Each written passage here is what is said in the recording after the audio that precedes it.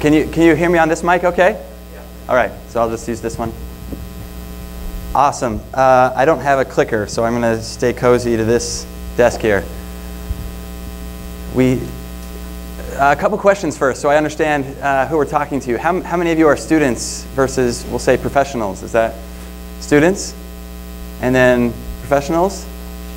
Um, and then everyone else, if you, if you don't want to, okay. Good. So most people have jobs, that's great. Or they're, or they're spending lots of money on loans, that's good. Uh, and how, how many people have heard of Beam? Apache Beam? All right, a handful. Google Cloud Dataflow? All right. Um, uh, Apache Spark. Okay.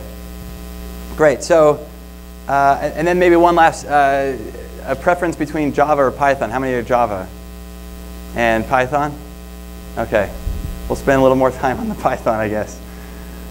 So I, I wanted to first give you some background on, on, on uh, Beam and Dataflow. So it all starts in 2004, right, with the MapReduce paper from Google. And then it, within Google, we continued to iterate on MapReduce, make improvements. There was Flume and Millwheel, if you follow those papers. Meanwhile, in the open source community, uh, the MapReduce paper, as well as uh, other innovations, spawned a whole world around Hadoop and then more recently Spark. So maybe a couple years ago, this is kind of what the landscape looked like, uh, at least for us internally at Google. But there were still, you might think there's a lot of tools out there. We've kind of solved a lot of problems. This is a good place to be. But we still saw some work to be done. Uh, one is how you write big data jobs. Uh, there, there was no, um, there was there was stream frameworks, there was batch frameworks. Are these necessary? Uh, event time processing. Um, most of the frameworks available provided only uh, the arrival time to the system processing, not event time processing. And then job portability. With all these frameworks, if you write to one, then you have to rewrite it a year later when the next popular framework comes out, or if you want to move frameworks for a use case, you have to learn them all. So that's how you write a job. Uh, we also saw some issues with how jobs are run. The, just the operations of running a big data system in a company is a lot of work. And then um, performance. Uh, straggling workers specifically was, is a problem that's been around since the beginning that we have yet to solve. So th these are some of the things we wanted to tackle. And so rather than writing a paper at Google, we, we released a product. So this is Google Cloud Dataflow, which is a, an execution engine similar to Spark or Flink or Hadoop. And then also as part of that effort, we released an, uh, an open source project, which is now incubating at the Apache Foundation called Beam. And, and just so I don't lose you, Beam is a, an API. It's how you write a job, but you, you don't necessarily execute a job with Beam. You would then execute it on one of these other engines, like Dataflow. So if I were to, to map these projects to the problems they're solving, Beam is helping solve how you, how you write a job, and Dataflow is, is solving how you execute a job. All right, so we're to we're gonna talk about um, event time processing, job portability. We're to talk about Beam first. Uh, we all have data. Some of us have lots of data. And traditionally, when we have lots of data, we break it into pieces. We, we partition it so that we can save it someplace. But really, all data is just a stream. And, and uh, because it's a stream, it's infinitely large because it goes on forever. Uh, unfortunately, it doesn't come in order usually. So as data arrives to your stream processing system, uh, there are network latencies on the way or other things that put events out of order. So um, usually we just ignore that. And in the batch world, we've just, we still truncate our data by the time it arrives to the system into groups, which works fine until you want to recreate a user session, for example. Um, and and the, the rest, what we talk about for the next five or 10 minutes is, is a lot about session analysis, which is a particularly hairy problem um, that Beam helps with. So you'll see here, if you, if you partition your data by time and a, session, and a session extends over that amount of time, it's hard to recreate. So maybe you go to streaming to solve this problem. Um, you, might, you might first filter some data, then you start aggregating by time again. But as, as before, now that you're in a stream, you might think I, could, I can put events in the proper order. So here I'm, I'm taking events um, that, that arrive between 12 and 13, and I'm putting them at 11 and 12 where they actually occurred. And because I can do that, I now uh, can recreate a session. So I'm just speaking conceptually here so far. I haven't told you that this is possible or how it's possible. But if you were to do operations on streams, this is, this is the type of work you probably want to do. In order to do that, we need to introduce some new concepts that end up in Beam. So the first is, um, I, I talked about event time and processing time. So this is when the event actually occurred, and this is when it hits your system. Um, to put things in order, we need, we need to know when uh, the data has actually arrived. Because in theory, data could be forever late. It could never arrive. Uh, so at some point, we need to make a heuristic decision that says, oh, the data is probably mostly here. I can begin an aggregation. I can, I can compute something. So that's what the watermark here is. Um, and, uh, or, or I should say, the red line is when data arrives. Sometimes it's, it's delayed a bit. We call that skew. And um, ideally, we have a watermark or something that says the data is probably here. You can proceed with the calculation. Um, those, are, those are some concepts in Beam. And I'm, forgive me, I'm kind of rushing through this uh, so we can get to the, the Python stuff that I think you might, might more prefer. Okay, so now I'm introducing you to the Beam SDK. So this is currently in Java. We also have some in Python. Uh, but this is kind of simplified Java. Otherwise, it wouldn't fit on a slide. So, uh, so that we can, this is a simple batch job. I'm just going to count up what happened in a certain hour. So um, a P collection, if you're familiar with Spark, is like an RDD. It's just a parallelized connection. It's a big bag of data. I'm going to read into a P collection. I'm going to parse it. And um, I'm going to uh, sum integers of a key. So here's what that looks like graphically. Um, I have event time on bottom, processing time on the side. That line is like the ideal watermark. If everything arrived on time, you see nothing is arriving on time you know, three comes in, oops, I, I went too quickly there. Um, three is close on time, nine's really late. It doesn't matter because I'm doing this in batch and I just count all the data at the same time. This is how we usually do things. Um, but if I, if I wanted to partition the data into smaller groups, which I have to do if I want to do stream processing, I need windows. Or, uh, so there, there's several kinds of windows. I have a fixed window, which is just counting every minute or every hour.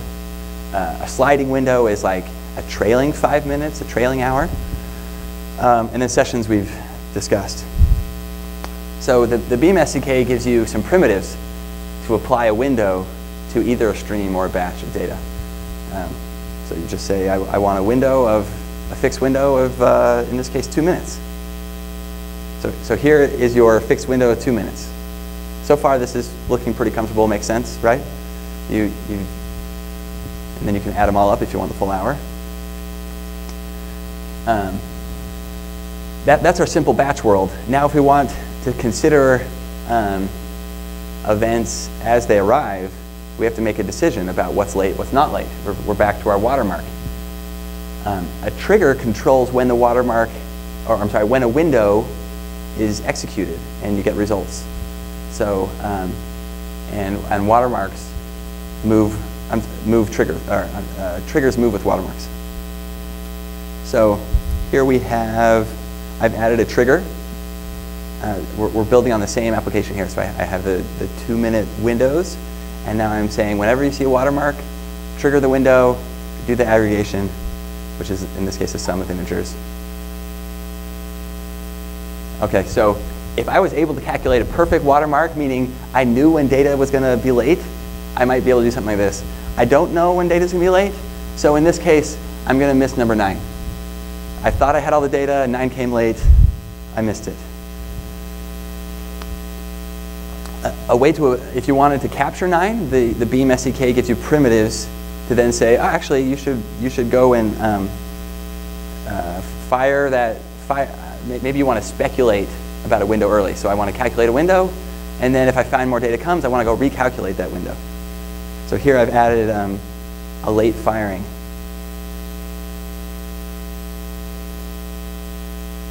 You're seeing that I've now captured number nine. At first I missed it. Um,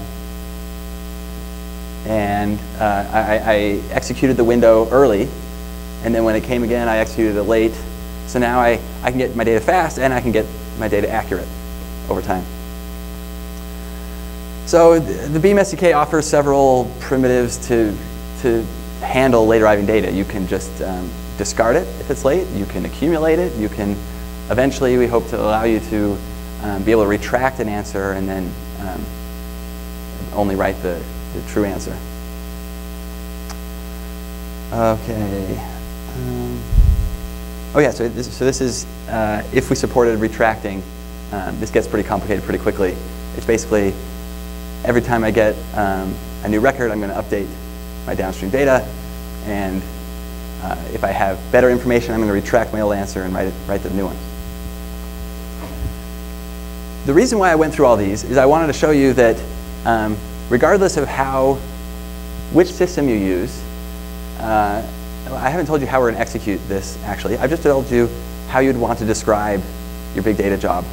And um, it's possible with the same primitives to describe both batch and streaming jobs. So I, we had classic batch at first, and then we introduced more real-time streaming elements. And then towards the end, we had very, um, very active streaming operations, um, all with the same SDK. And that's, that's the promise of Beam.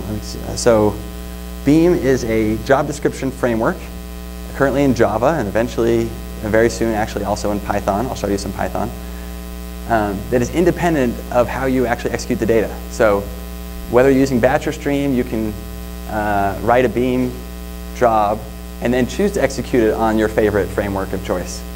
Uh, so if you've, if you've, already invested in Spark, if you want to try out Flink, um, or I work on Google Cloud Dataflow, uh, which is a cloud-based service. And actually, that's what I'll talk about next. So I've, I've told you how we've, we've solved these, uh, or at least attempted to solve these first problems we saw with Beam.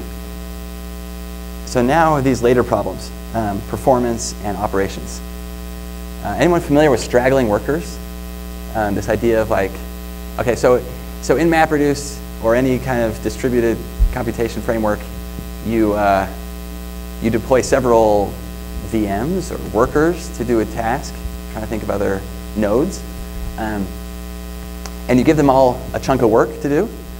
But inevitably, there's this this one or two that goes really long. Um, there's several reasons for that. It's, it's generally you either gave them too much work and you didn't realize it, or they're just slow. Uh, you have a bad machine or something. Um, and this, this has kind of been a plague, even though we, we can do all this work to optimize, but you're only as fast as those slowest workers. You can't continue to the next stage until all the data's back. So the way most systems have tackled these is uh, we filter for bad machines is an option. So you could spin up a VM, and if it appears slow after a few checks, you, you just get rid of it. Don't give it work. Um, another option is, is speculative execution, uh, which is a fancy way of just saying you just run these, you, you, you, you start, uh, you take the long jobs and you run them again, hoping that uh, they might finish faster. And whoever finishes first, you take those results. So what, what we're doing um, at Dataflow, oh, okay, is what we, we call it dynamic work rebalancing publicly. Internally, we like to call it liquid sharding, which we think is a kind of a cooler term, but marketing didn't like that. So it's dynamic work rebalancing. And the idea is you take these long workers, um, at, well, well, at any given point in time, we're going to assess how long is do we expect this job to take. And if I'm not, make, if I'm not making much progress, I'm probably not going to finish on time. Um, speaking from a worker's point of view, let's, let's cut, split the work and redistribute it to the workers who are done. That seems like a straightforward solution. Like, why haven't we been doing that in the past? Well, it's, it's hard to know where you can split work. Uh, and, and you can't just arbitrarily split work. You have to uh, split it along actual discrete data piece, pieces. So uh, this required us to not use the traditional Hadoop input-output formats. So we needed to know more data from the source about where we can split. Um, so if, if you want dynamic work rebalancing, you have to, you have, to have new input output. So we bake those into Beam. Um, so everybody can use the, the uh, more granular information about input output available in Beam for your runner. Currently, it's um, Dataflow supports it. Okay. And, and this is the results. So on the left are it's a, is a usual job. You can see all the straggling workers. And on the right, you're seeing um, when we implement dynamic work rebalancing, you can see like a, a, kind of a vertical line there where we made the shift, where we like shuffled the work. for example. Okay, so that's, that's how we're speeding up uh, performance.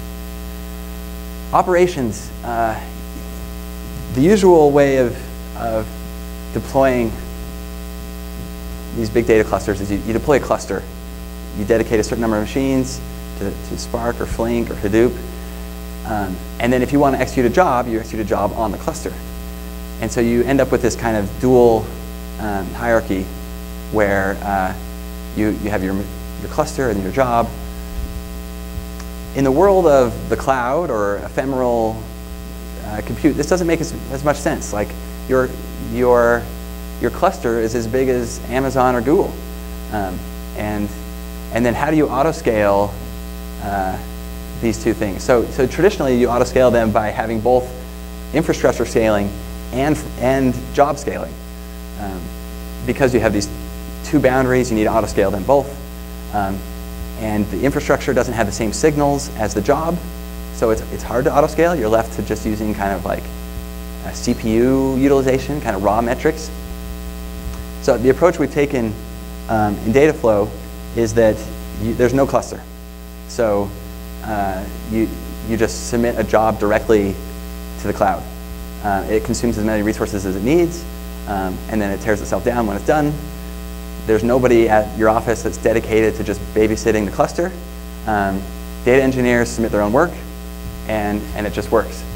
Uh, this gives us additional auto-scaling metrics at the job level. So because the job, it only exists as the job, we can auto-scale that better.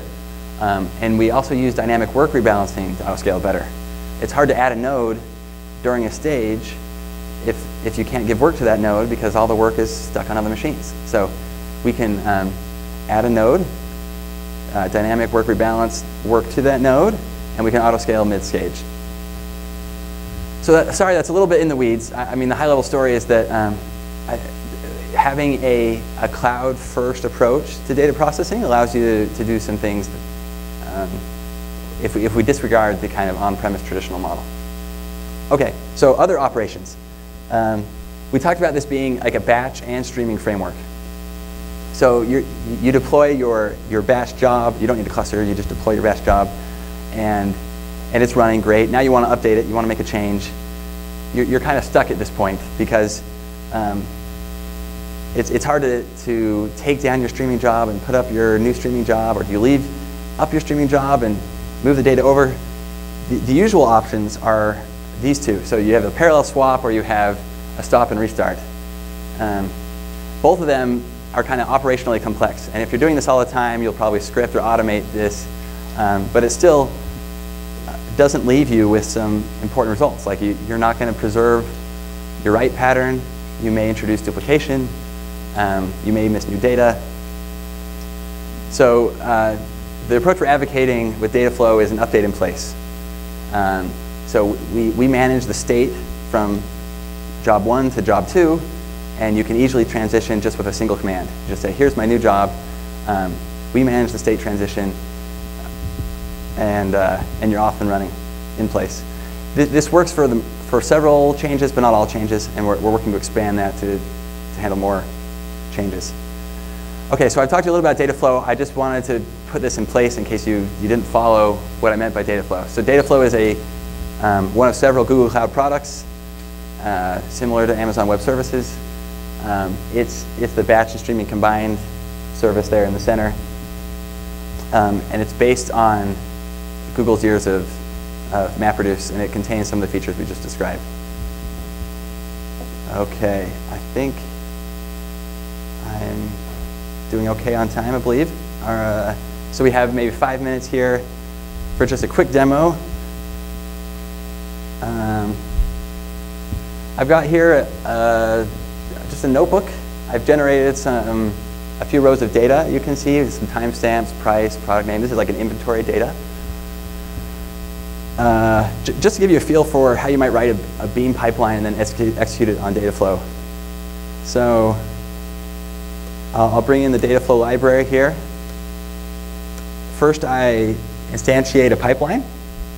And I, have said it's going to be on the direct pipeline runner, which just means it's going to run locally. And then I'm going to describe my DAG, the operations I'm going to apply on this. So I'm just going to read from my input file and write to an output file. I'm not actually doing anything. I'm just moving data around as an example.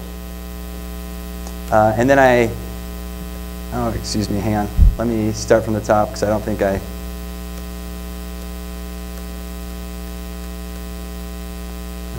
okay. Sorry guys, I may have lost my internet connection. Well, let, let me uh, jump down here.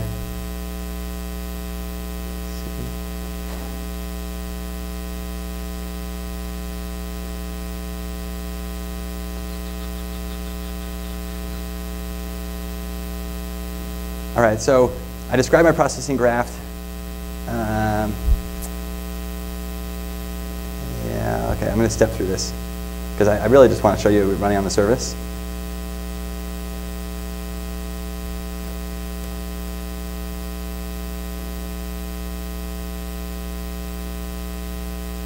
All right, so here's a pipeline that I might run on the, on the Dataflow service.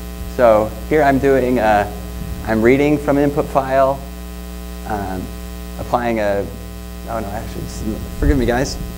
I'm, I'm low on time, so I'm, I'm skipping around here. Okay, so this is a word count on, on some Shakespeare text.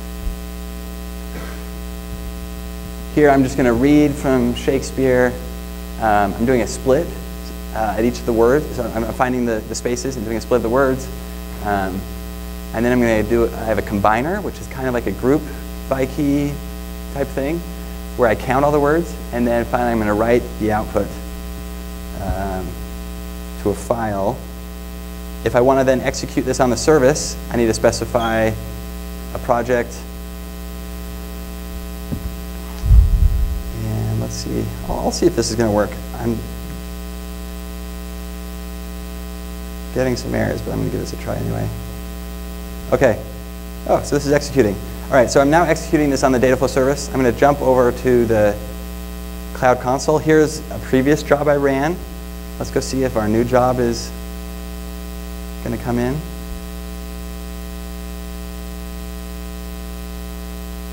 There it is. Okay, so this job just showed up. So you, as I said earlier, you don't have a cluster here. The job's just being deployed directly to the service. I pull up that job, and you can see the, um, the operations we just described. Here's where you can monitor your pipeline. Um, I'm, I'm reading from text, I'm splitting, I'm counting, and I'm writing. Now, each of these transforms is implemented by other transforms. So a count is really uh, a map and a reduce. And then this write transform is, um, is actually fairly complicated because uh, in order to make sure I get all the data, I'm going to write to temporary files. And then I have this finalize step that says, OK, all the temporary files were written appropriately. I've got all the data. Now let's write a single file as my output. So this is all running. And if you're curious how it's running, I can bump over to uh, this is Compute Engine. And I can see this instance group. This is my group of VMs that have been deployed uh, to run this job. I don't need to do anything here. I'm just, just so you get a feel for what's going on. So I'm going to bump back in this thing. Um, meanwhile, let me show you, I don't think this is done yet, but this is the output for the sake of time you'd expect. So um, I split all the words, uh, sophisticated, uh, pinch, large, and I've counted how often those occurred in King Lear. Um, so that, that was a very simple pipeline.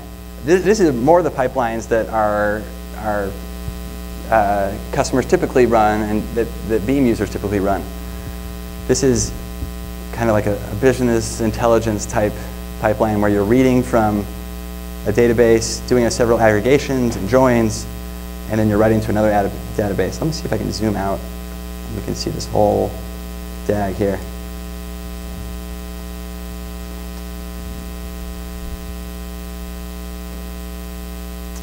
Perfect, so I'm gonna go check back. So our, our job completed. Um,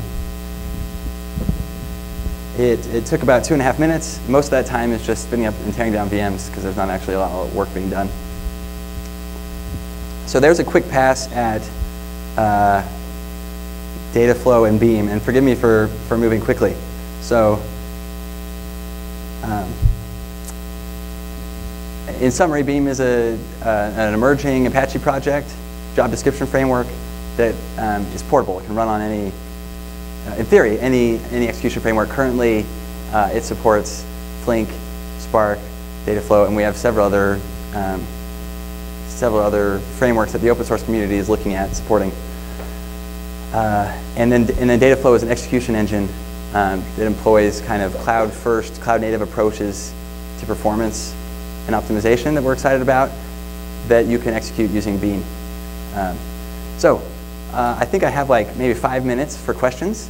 And so let me, let me I'll just stop there and, and take any questions.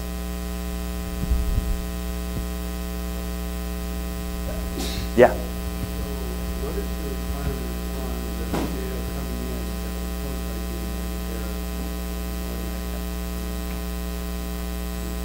Yeah, yeah, yeah. So uh, it's um,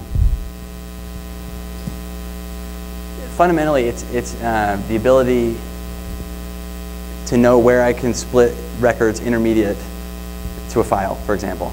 Um, so no, if, if I have several files, the traditional approach is to assign one per worker.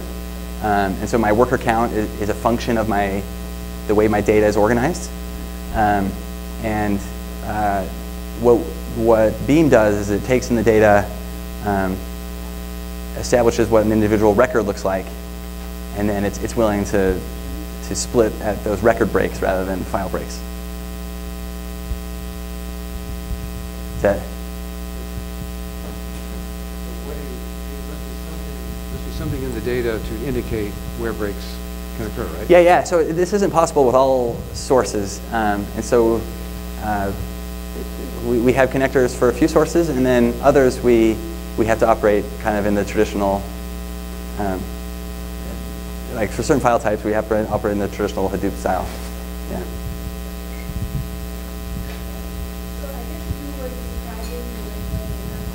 Yeah.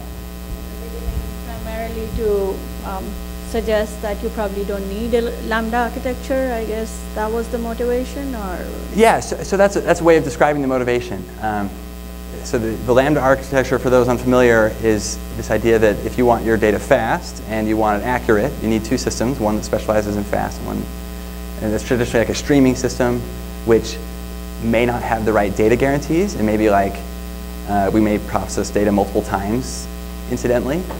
Um, and then your batch system is, is exactly once, and, and it's more accurate. Uh, yes, so th this, this is an alternative to the Lambda architecture, where a single system um, can give you uh, a real-time stream and also guarantee exactly once processing um, and, and the ability to, to know, like your results can always be accurate because we can get the late data and the, and the fast data. And this is already available in uh, Dataflow? This is, this is available today, yes. Yeah. Okay, thank you. Sure.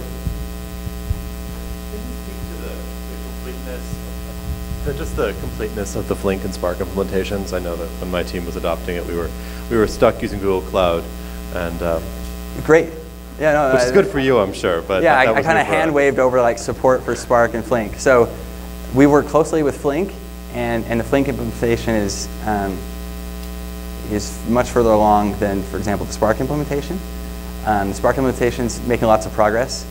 I believe it's still currently batch only for Spark, um, and and we're in the midst of, I shouldn't, I shouldn't say we, the community's in the midst of streaming support. Does that answer your question? I mean, kind of. Yeah. Because the position really is what is, is uh, how much is Google invested in that and how much are, because I mean there's, Dataflow is the first one, is the first target platform for yeah. it and there's a risk that it will, in order for it to be a healthy project in the long run, the other runners have to have a substantial, I mean, they have there have to be alternatives for Beam to be a truly uh, universal execution framework and not just a, a Google project. No, I, I, I, we, we fully agree that the success of Beam lies in in several runner stable, strong, run, successful runner implementations. Um, so so we're committed to do whatever is necessary to to get to that point. Um, we also want to work with the community to make sure that uh, there are people who are also committed in supporting these. Uh, we don't want to just throw things over the fence to GitHub and let them rot. Yeah. Uh, this, assuming you might go off on, but one of the things you can do when you're describing a job is effectively say, this is what, this is when I want it done, and this is the amount I'm willing to pay in terms of additional resources and money to increase my odds of having this be finished by this time. Yeah. Is there anything along those sort of one of those problems with those software cloud-based things, you pay, you know, to expand the number of machines being involved in job, you really want a descriptive language for like how much of an increased percentage, you know, how much money would you pay for an increased percentage of the job finishing by a particular time? The, the great. Uh, th- this is this is entire. This is 100% our our goal and vision for Dataflow. Right now, there's a lot of knobs generally with data. Oh yeah, yeah. Sorry, repeating the question. So the, the question was, um, I, I, maybe to summarize, I think I'd like to be able to specify when I want my job done and and the amount I'm willing to pay for it generally, and let the let a service decide how and when it's executed. Is that Well, not just that, but also say like if I, I'm willing to pay an extra million dollars to increase my odds of being done by this time by ten percent. Mhm. So actually be able to, you know, like it's a statistical thing, my odds of being done by a certain time and how much more I'm willing to pay to increase those odds. Yeah, so maybe I'll, I'll answer your question by saying we, we want to create a world where you don't, um, you don't have to think in terms of workers, you don't have to estimate how long it takes your job to be done and how much you're willing, or, or uh, you should only have to think in the terms you're describing, which is um, this is how important this job is to me, here's how much I'm willing to pay for it, and, and the service should be able to automate those things for you. Uh, we're, we're headed partially in that direction. We've released um, auto scaling is on by default starting next week or the following, um, which gets you out of the business of choosing the, the worker count. Uh, but we still haven't given you the ability to say, here's how much I'm willing to pay, here's my um, when I want it done, and, and, and statistically this is the relationship between the two. But, but we want to go in that direction. Thank you so much, Eric. Yeah. I think we have concluded the question answer round. If you still have any questions, you can catch up with Eric outside the